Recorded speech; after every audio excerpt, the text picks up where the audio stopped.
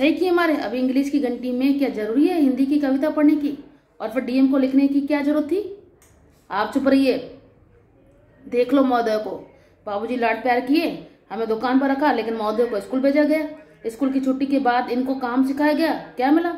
सब देख रहे हैं। शक्ति ज़रूरी है थोड़ी। हमने सारे जवाब सही से दिए थे।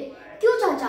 पास में यही लिखा है कि सबसे खतरनाक होता है मूर्ता शांति से बाहर जाना, तड़प कर रोना और सब सहन कर जाना, घर से निकलकर काम पर जाना और काम से लौटकर घर आ जाना। और सबसे खतरनाक होता है, अपने सपनों का मर जाना। क्यों चाचा? पास में ये लिखा है कि नहीं लिखा है?